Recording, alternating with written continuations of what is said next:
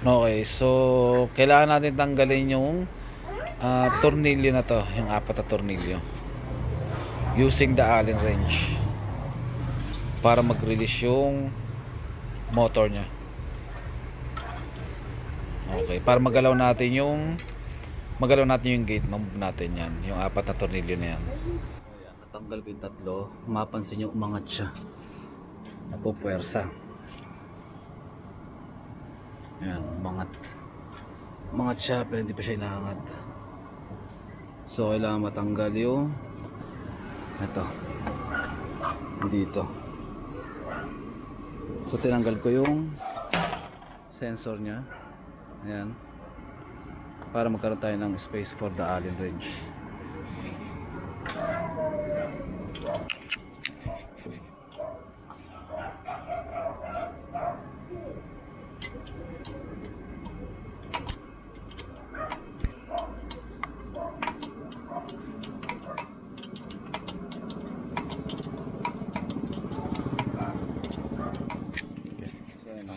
Natin. Oh, ayan. So, ito yung gear niya. Ayan. Yung loob. Okay. So, try natin kung ah, ipindutan natin yung clutch. Ayan. Ayan. So, kanina ito, hindi ito ma-puwersa. Ngayon, ay- ay, dito kasi clutch niya. Ayan. So ayun na, napipindot na siya. So ito yung gear niyan. So try natin kung ah kung mamamano na natin. Yan, so na siya.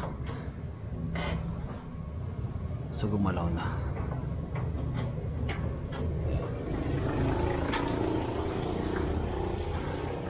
So kanina So kanina ito.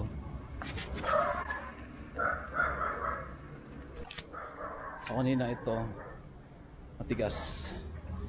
Hindi mo siya magalaw. Ngayon. Ngayon nagagalaw mo na siya. Nagagalaw mo na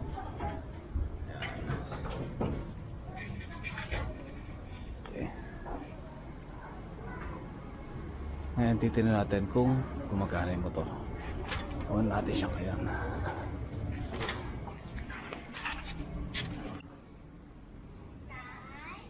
Wala. Try natin siyang i-on. Yan. Try natin siyang So yun siya. Pag inon mo siya. So on. Yan, working. So grasahan na natin. And then balik na natin. Okay.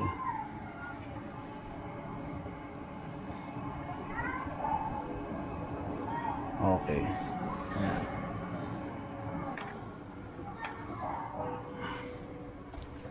So babalik, babalik na natin yung sensor. Okay. Balik natin siya. So yun. Okay na siya.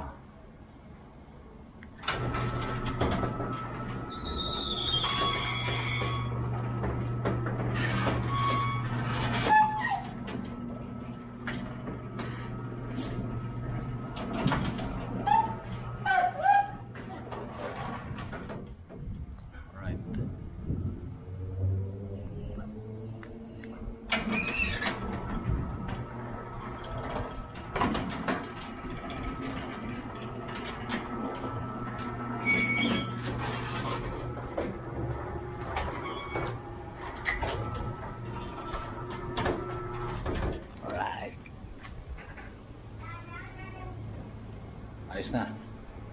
So nag-jump. Nag-jump yung motor.